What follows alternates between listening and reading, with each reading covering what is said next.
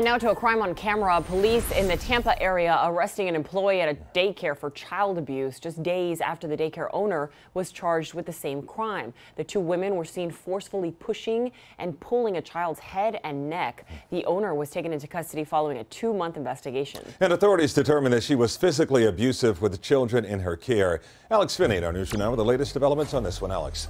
Calvin and Nicole, Rong Lu is the owner at the Children's Land of Imagination Academy. This is in Odessa. She was charged with child abuse last week, and now an employee, Tara Balu, has also been arrested. Now we're showing you this video here, and you can see Balu roughly pulling off the clothes of one child and then forcing the child to lie on their stomach.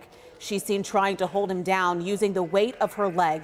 Police say just a half hour earlier, the woman's boss, Rong Lu, used the same tactics to try and get a child to take a nap.